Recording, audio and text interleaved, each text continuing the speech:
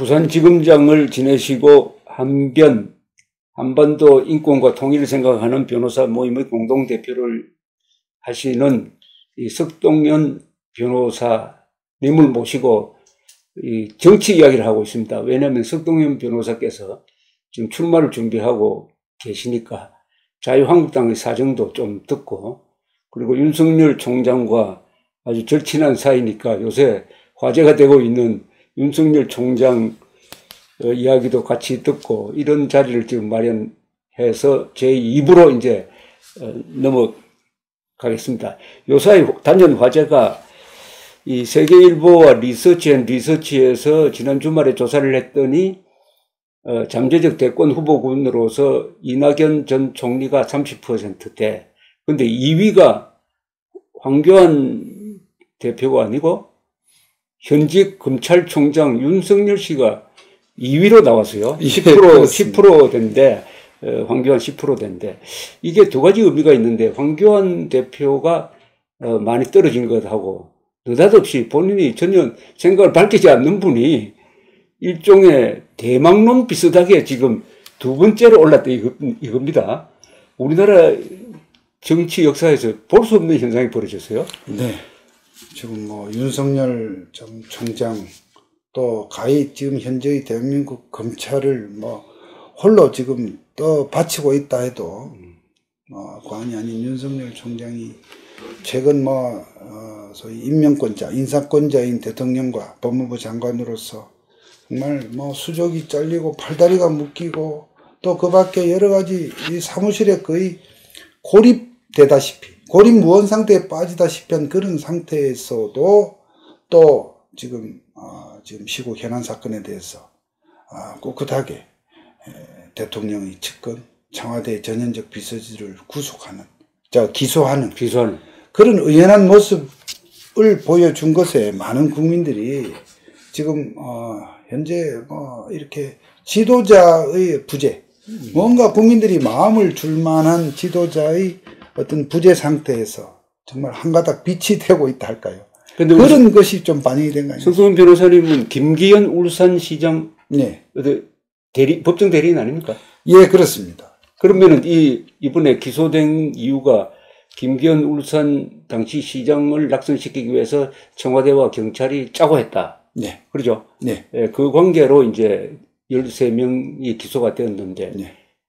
이번 기소를 보시면서 이 사건을 좀 정리를 해 주세요. 예.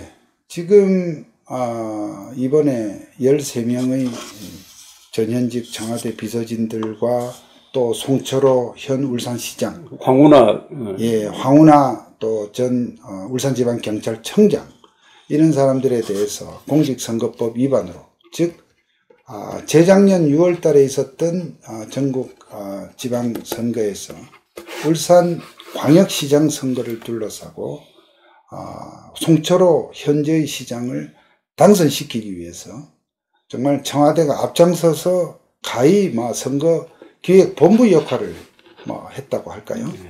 어, 당시 현직 시장이면서 또 선거에 도전하는 입장에 있었던 어, 김기현 어, 당시 울산시장에 대해서는 어, 없던 혐의까지 다 탈탈 털어 만들어내 가지고 하명 수사라는 형태로 그야말로 만신창이로 만들고 또 한편으로 어, 송철호 후보 후보였죠. 후보에 대해서는 아 여러 가지 뭐 공약 지원이라든지 기타 이 선거에 관한 여러 가지를 전방위적으로 또 이렇게 뒷받침하고 또 이 행정력으로 또는 정권 차원에서 아, 지원을 아끼지 않는 이런 선거 개입으로 이 김기현 시장이 정말 선거 3개월 전까지 압도적으로 앞서가던 김기현 당시 시장이 결국 선거에서 아, 패배를 하고 송철호 시장을 당선시키는 그런 정말 대한민국 아, 건국 이래 거의 뭐 손꼽을 수 있는 최대의 어떤 그런 선거 구정이 있었습니다. 그러니까 관권 개입 선거 관권 개입 정도를 넘어서서 아예 관제 선거를 한 것이라고 볼 수 있죠. 그런 사항들이 나름대로 또 뜻있는 소신을 가진 울산지방검찰청에서 나름대로 그 수사의 불을 계속 음. 지펴왔습니다. 음. 지펴오다가 그것을 또 어, 윤석열 검찰총장이 이 서울 중앙으로 가져왔어. 음. 왜냐하면 이게 청와대가 개입된 사건을 아, 지방 검찰청 차원에서의 이 수사로 맡겨서는 이 수사가 좀 충분하고 적절하게 안 되겠다 하는 그 총장의 그 특유의 판단. 이 판단에 의해서 중앙 음. 서울로 가져옴으로써 이 정말 이 사건의 아, 실체가 그 사건의 실제 무게에 맞는 그 실체가 드러나게 된 것이죠. 그렇게 해서 서울지검에서 특별한 어, 수사팀이 짜여져서 수사를 줄기차게 해왔고 이것이 현 정부 대통령이나 청와대로 봐서는 정말 어, 자기네들이 예, 신임을 해서 총장으로 앉힌 윤석열 총장이 자기들 입장에서 보면 이럴 수가 하는 그 느낌 속에서 점점 목 끝에 예, 칼을 대고 그러한 아, 치밀한 수사 끝에 또 수사 막바지에는 말입니다. 청와대나 또 추미애 법무부 장관을 앞세워서 이 수사팀을 이렇게 저렇게 수사에 제약을 가하고 수사에 어떤 여러 가지 팔다리를 묶는 그런 어마어마한 이건 나중에 또 다른 분명히 직권남용으로 반드시 역사 심판을 받아야 될 것입니다. 역사 심판이 아니라 법의 심판을 받아야 법의 되겠죠. 심판을 받아야 되겠습니다. 예, 맞습니다. 법의 심판을 반드시 받아야 될 그러한 수사 방해 공작 속에서도 또 더구나 막바지에는 인사 학살을 통해서 수사팀을 해체하는 가히 해체하는 그런 상황 속에서도 이 검사들이 정말 부임 어, 타 지역으로 전출하는 전날까지 정말 최후의 일각까지 최선을 다해서 이 실체를 규명하고 어, 잘못된 점을 밝혀내서 지금 현재 수사가 끝난 것은 아닙니다. 아직도 수사는 그렇죠. 정말 중요한 몸통 수사는 아직도 남아 있다 저는 그렇게 봅니다. 그렇지만 현재까지 이 사람들이 어떤 그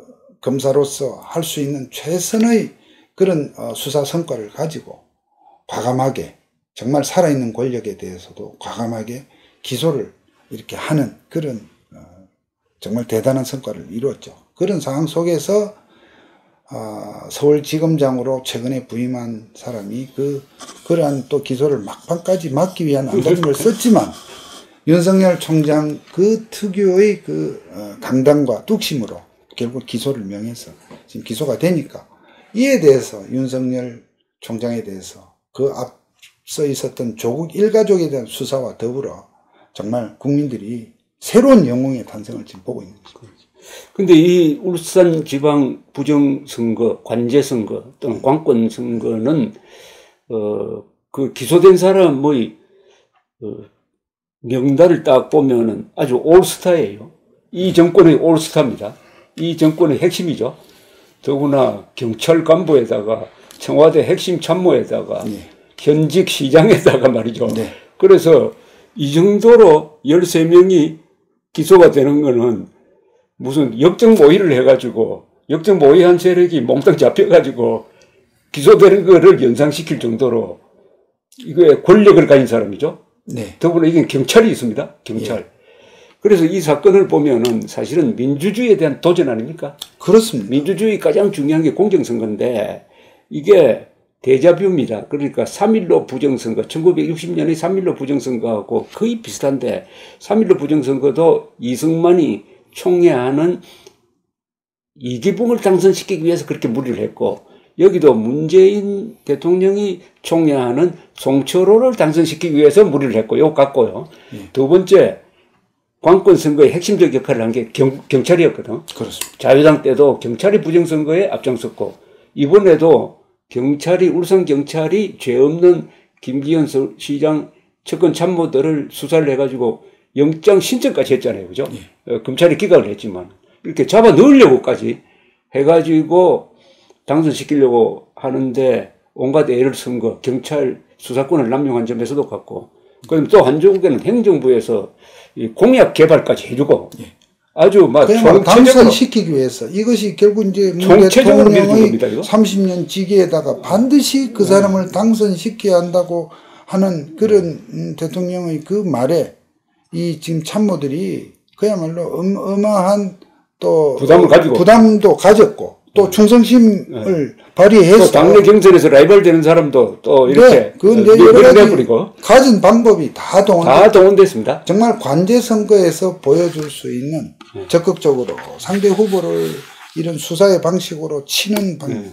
또 현재 자기네들이 당선시키려고 하는 그 특정 후보에 대한 전방위적 지원, 뭐 여기에는 행정력, 정치력 모든 아, 수단들이 다 동원돼. 그런데 이게 수사가 이제 선거를 앞두고 있으니까 일단 윤 총장은 여기 여기에서 일단 마무리하고 선거 끝나고 나서 그 다음 더 수사해야 될 게 막판에 저 소환되었던 임종석 실장의 역할 아닙니까? 그렇습니다. 그렇죠. 그럼 지금 임종석 이 실장 부분을 자유한국당하고 시민단체 등에서 이제 고발을 했는데 지금 고발된 사람의 가장 현재 피고발인의 정점에 예, 임종석 비서실장이 네. 있습니다.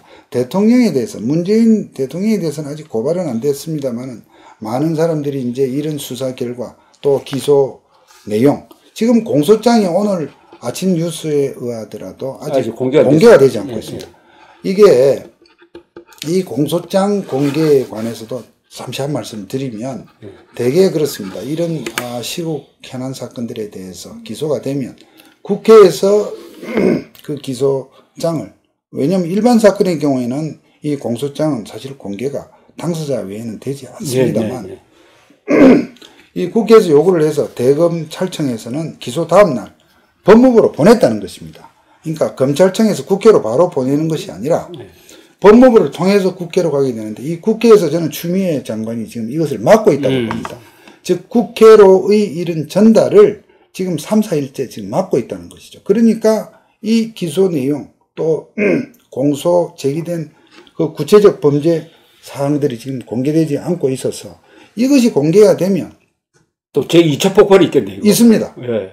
그러니까 지금 여러 가지 이, 이 피고발 즉 이 울산시장 선거 부정에 관여됐던 사람들이 그러니까 저도 이 사건이 어떻게 보면 에, 국민들도 이 선거 어, 공영 선거를 해친 우리 국민들 전체가. 법적으로 우리가 피해자이지만. 우리가 피해자. 또 한편 직접적인 피해자라고 할 수 있는 김기현 시장을 제가 법적인 어, 조력자로서 그런 피해 사항 진술이나 이런 부분을 돕고 있는 입장에서 본다면 지금 그 당시에 어떠한 아, 관건 개입이 이루어졌는지 이런 부분이 공소장에 이제 나타나 있을 것입니다.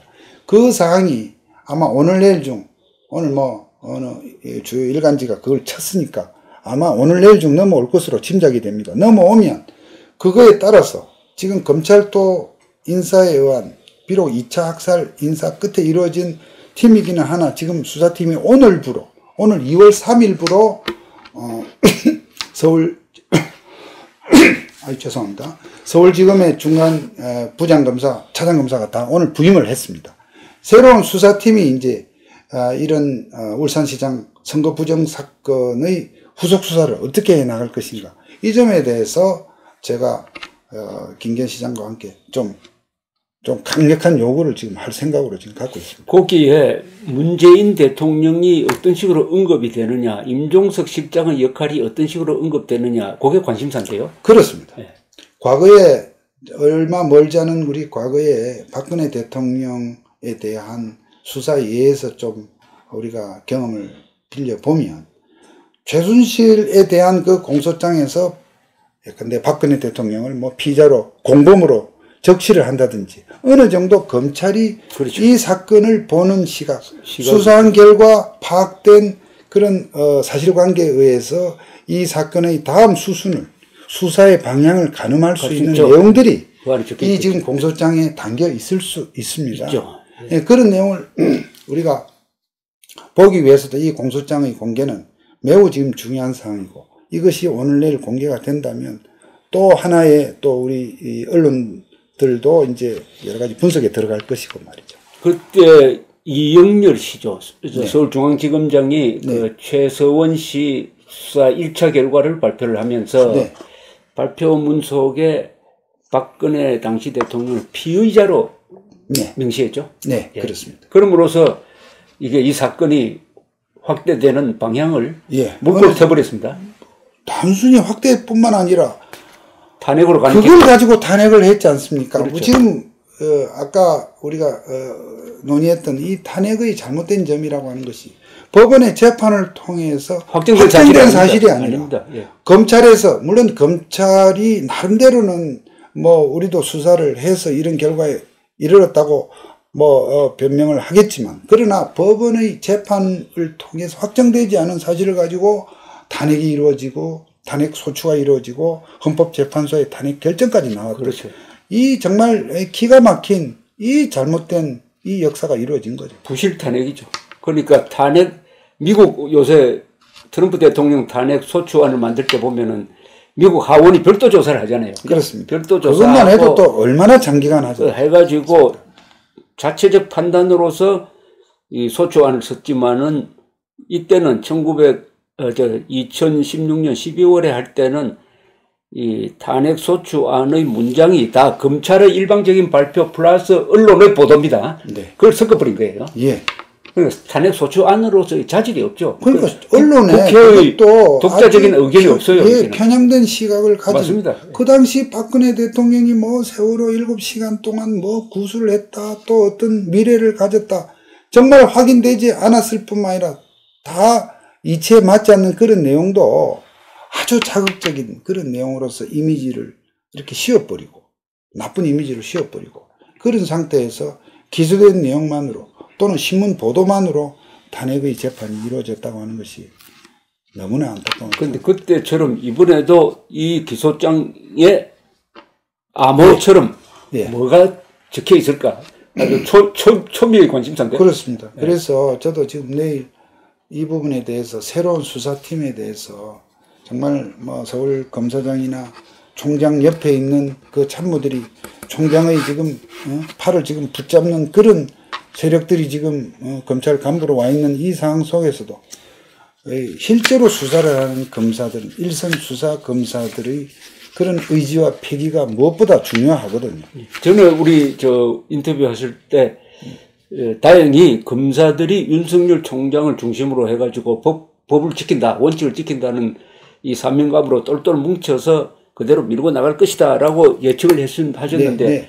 어느 정도 적중했습니다. 그죠? 그렇습니다. 지금 그 당시에 참 검사장 서울 검사장을 그렇게 어, 임명을 해서 이 소위 기소를 이렇게 저렇게 좀 어, 부정적인 의견을 내고 또 대검의 찰청의 총장 바로 턱 밑에 참모들도 또 부정적인 의견을 내고 하는 속에도 이 검사들이 올곧게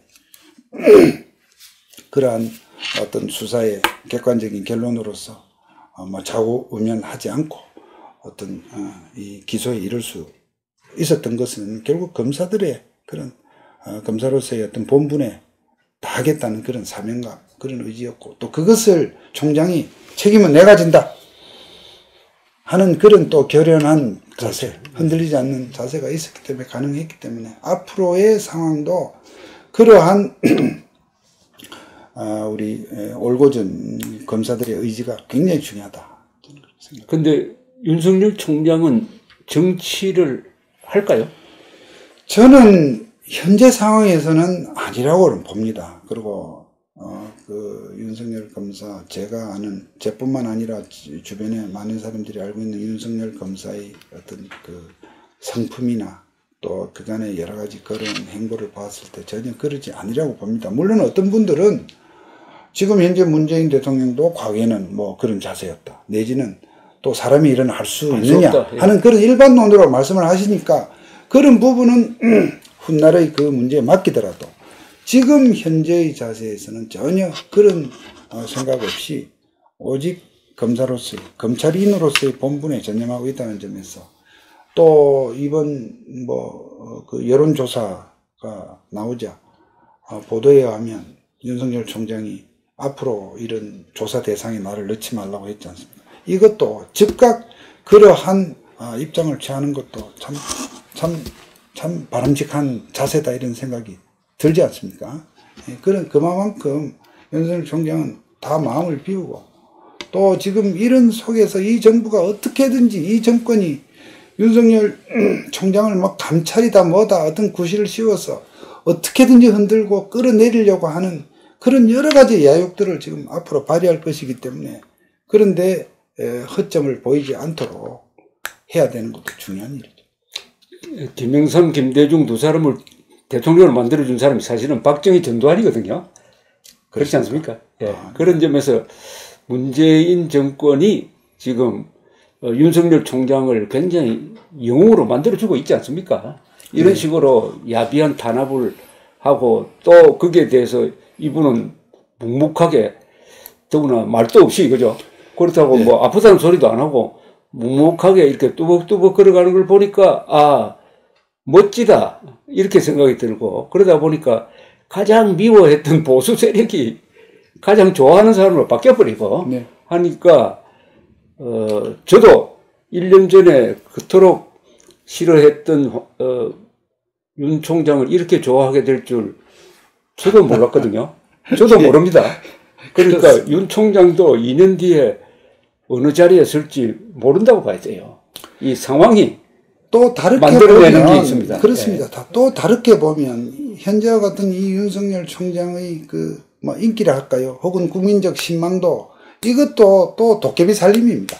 만약에 여기서 어떠한 또 어떤 음, 계기가 있게 되면 그만큼 민심이라고 하는 것은 자주 바뀌죠. 예. 그만큼 냉정하다면 냉정하고 예, 예. 음. 정말로 그렇지 않습니까? 근데 최근에 저는 그 진중권 그 교수가 음. 이렇게 표현하는 것이 가끔 정말 참, 참 촌철살인이다. 음. 지금 윤석열을 이렇게 영웅 만들어주는 사람들이 바로 청와대와 추미애입니다. 그렇습니다. 이 사람들이 결국 만들 나중에 수다 이거 직권남용으로 다 아까 말씀드린 법적 책임으로 네, 그렇죠. 다 나중에 다 감방 갈 사람 그런 일들을 지금 많이 하고 있습니다. 그런 상황들이 오히려 윤석열을 그렇죠. 맞습니다. 역설적으로 더 돋보이게 만들어주는 그런 상황이 되고 있지 않습니까? 그러니까 인간 윤석열 씨는 정치하고는 좀 궁합이 그렇습니다. 맞습니까? 저는 물론 이제 정치가 뭐냐, 정치인의 덕목이 뭐냐 할 때 나름대로 국립민복 이런 차원에서 보면 훌륭한 훌륭하게 해낼 수 있는 사람이라고 보는데 한편으로 현실 정치가 저도 지금 이제 발을 담그고 좀 보고 있습니다만 또 이 현실 정치가 아, 이 현실 정치를 하다 보면 참 정말로 말도 안 되는 그런 어, 일들이 또 가끔 일어나고 또 그런 속에서 자기를 어떻게 보면 막 적응을 시켜야 되는 그런 참 우리의 수준이 그렇습니다. 그런 점에서 볼 때 저는 이런 친구들은 이런 것에 어, 젖지 않고 흔들리지 않고 법조인으로서 뭐 총장도 언제까지는 할 수는 없죠. 결국 임기가 지금 그럭저럭 이제 한 1년 정도 남았다고 하면 3년이죠. 아, 2년입니다. 아, 2년밖에 안 됩니까? 2년입니다. 아이고. 그렇다고 하면 곧 또 총장에서 내려온 이후에 야인이 되었을 때 또 어떤 모습이 내, 될지 내년 7월까지네요. 그렇습니다. 그런 점에서 어쨌든 임기에 있는 동안은 정말 아, 자고면하지 않고 국민만 바라보는 또 본래 현재까지 취하고 있는 저러한 스탠스를 계속 유지할 수 있도록 아, 우리들이 예, 좋아하는 만큼 지켜줘야 되겠다. 저는 윤 총장의 이번 신년사, 네. 신년사를 읽어봤더니 이분이 어, 자유민주적 기본 질서를 수호한다. 그리고 헌법, 법치 이런 이야기가 참 많이 나오더라고요. 그리고 굉장히 논리적이에요. 네. 그그 대신 문재인 대통령은 자유란 말을 애써 쓰지 않고 쓰지 않죠. 자유민주주의 기본 질서란 말을 써본 적은 한 번도 없고 딱 두 사람의 신년사가 대조가 되는 거예요. 대조가 돼서 그래서 아, 윤석열 총장이 이게 대통령이 해야 될 연설을 했구나 하는 생각이 들었는데 예. 다른 건다 어, 차치하고라도 그 연설에 적혀 있는 자유민주적 기본 질서를 수호해야 된다는 정신이 확고하다면은 그것은 나름대로 시대 정신입니다. 지금 왜냐하면은 지금 대한민국은 좌우를 떠나서 위기가 법치의 위기고 불행하게도 문재인 정권과 문재인 대통령이 법치 파괴자 역할을 하고 있고 윤석열 씨가 법치 수호자 역할을 하고 있어요. 그렇습니다. 그러니까 법치 수호자 윤석열 대 법치 파괴자 문재인의 대결 구도고 이게 이번 선거판에 사실은 보이지 않는 배경 그림입니다. 이게 배경 그림이에요.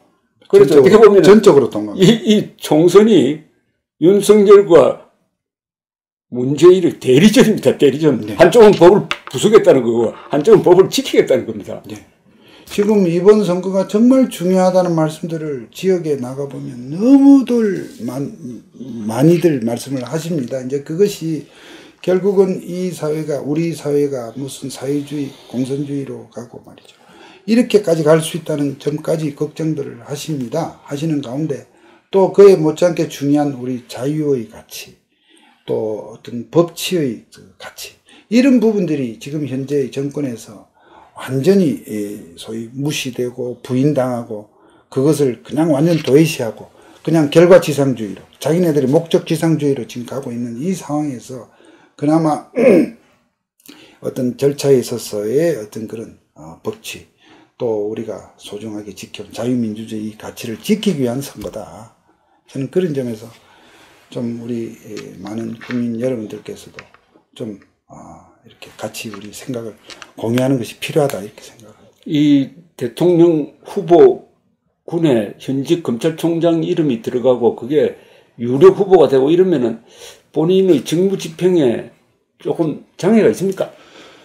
뭐 장애가 직접적으로 본인이 그거에 전혀 어, 개의치 않고 흔들리지 않는다면 본인으로서는 없, 없으려고 보는데 한 가지 이제 높아심이 든다면 이제 오늘 이후에도 계속해서 혹 여러 지금 언론이나 이런 여론조사 매체에서 약간의 어떤 흥미성을 넣어서 말이죠. 이렇게 계속 할 경우에 오히려 저는 집권 세력에서 집권 세력들이 자기네들이 마음에 안 들면 무슨 일이든지 해치울 수 있는 집권 세력이 볼 때 그런 걸 가지고 검찰에서 통상적으로 하는 일까지도 어, 이게 무슨 총장의 그런 어떤 대통령병 이런 식으로 소위 덧치를 하고 이렇게 될 수도 있다는 점에서 그런 점에 대해서 좀 경계를 할 필요가 있다. 또 다른 면에서는 지금 윤석열 총장을 지켜주고 있는 것은 국민의 지지거든요. 그렇습니다. 그렇습니다. 언제든지 예. 뭐 사표 받을 수 있지만은 예. 국민의 지지가 있으니까 그렇게 했다가는 선거에서 진다는 계산을 하니까 지금 하는 대로 이렇게 내버려 두고 있는 건데 옛날에 미국에서 이런 게 있었습니다. 맥아더가 어, 2차 세계대전 때 현역 군인인데도 자꾸 여론조사에 맥아더를 대통령 후보로 넣었어요. 음. 그래서 공화당 후보 중에 1등을 했습니다. 어. 루즈벨트 시대 때. 음. 루즈벨트 민주당 아닙니까? 공화당. 그런데 그게 어떤 작용을 하냐면은 루즈벨트로 하여금 메가드가 어떻게 어떻게 작전하자 하면 이걸 무시할 수가 없어요. 그런 그런 면도 있다고 저는 생각합니다. 어쨌든 개인적으로 저는 이제 윤석열이가 참 멋있는 친구입니다. 뭐 이런 사건 수사 이런 걸 떠나서도 어 저희들이 저 오랫동안 교류해 오면서 그래서 사실은 과거에도 예컨대 우리 안대희 변호사도 기억하실지 모르지만 한때 대선 자금 수사할 때는 국민검사, 국민적 스타였습니다. 음, 그리고 실제로 그분이 대통령 어, 어떤 후보로 거론되기도 했었고 네, 네. 또 4년 전에 출마도 했었죠. 비록 아깝게 음. 떨어지셨지만. 그렇게 한때 그렇게 정말 국민적 인기를 모았던 분들이 더러더러 계시긴 했습니다. 윤석열 지금 총장의 경우에는 그런 분들에 비해서 좀 더 지금 하는 여러 가지 그걸로 보면 더 인기랄까 이 신망의 이 생명이 훨씬 더 오래 가고 현직 대통령과 예. 맞짱 뜬다는 그럴 수 있습니다. 그래서 아마 이 친구가 자기 관리에도 또 철저하고 이래서 여러 가지 면에서 참 저희들이 좀 한편으로 든든합니다만 어쨌든 이런 든든함을 가지고 정말 이 정권의 이 공수처를 만들고 정말 이 총장을 고립무원 상태에 완전히 가둬놓는 그래서 저는 자 필요하다면 특별수사팀을 구성을 해서 왜냐하면 직접 수사부서를 많이 없애고요. 또 이렇게 저렇게 여러 가지 제한 장치를 두었지만 어쨌든 총장이 갖고 있는 고유한 이 검사들의 이 수사 어떤 지휘권 이 부분까지 차마 아무리 이 도당 이 무도한 사람들이라도 그거는 못한단 말입니다. 그런 걸 가지고 검사들의 어떤 그 인재풀을 최대한 활용을 해서 중요한 아, 국민적 관심사항이 있는 현안 사건에 대해서 수사를 해 나가고 그거에 대해서 추미애가 어, 승인을 받으라. 저는 추미애 장관이 앞으로 머지않아 사고를 분명히 치리라고 봅니다. 즉 어떠한 어, 그 허욕, 과욕이 앞서서 검찰 내지는 검찰총장을 이렇게 저렇게 에, 거기에 시비를 걸다가 제풀에 자충수를 둘 일이 곧 생긴다고 저는 봅니다. 그러니까 수사팀이 필요하면 짜서 당당하게 수사팀 승인을 추미애가 승인을 받으라고 했으면 승인을 공개적으로 요구하라고 저는 하고 싶습니다. 예. 그럴 때 윤석열 총장의 그러한 특별수사팀의 편성 요구가 국민들의 눈높이에서 그것이 옳다고 생각되면 안 해줄 돌이 있습니까? 그렇죠. 그러한 의연함이 필요하다. 이렇게 근데 어떻습니까? 이거 검찰이 이 기소 이- 이걸 기소 독점주의라 그러죠. 네. 검찰만 기소할 수 있고 예. 그러면은 검찰의 기소권의 최종적인 결정권자는 검찰총장입니까? 그렇습니다. 아 그걸 좀 설명해 주십시오. 예, 이 기소 독점주의라고 하니까 이 독점이라는 말에서 뭔가 혹 부정적인 어감을 가질 수도 있습니다. 왜냐하면 우리 일반적으로 누군가가 이것을 독식한다, 독과점한다 그러면 음. 약간의 어떤 특히 공정의 요즘 굉장히 이 그렇죠. 개념에 음, 민감한 음, 이 음. 세태에 비춰보면 그런데 이건 독점이 검사가 독점한다는 것으로 보실 게 아니라 검사 외에 다른 사람들도 기소하게 되면 서로 경쟁이 돼서 중구난방이 된다는 걸 아셔야 됩니다. 그렇죠. 즉 검사에게 그 권한을 독점, 검사에게 특권을 준다는 개념이 아니라 정말 소정의 자격을 예. 갖추고 훈련되고 또 나름대로 검사 통일체의 원칙에 의해서 예컨대 어떤 젊은 검사가 예컨대 판단이 약간 경솔을 한 것은 더 경륜을 경험과 경륜을 갖춘 선배 검사가 그것을 지도 보완을 하고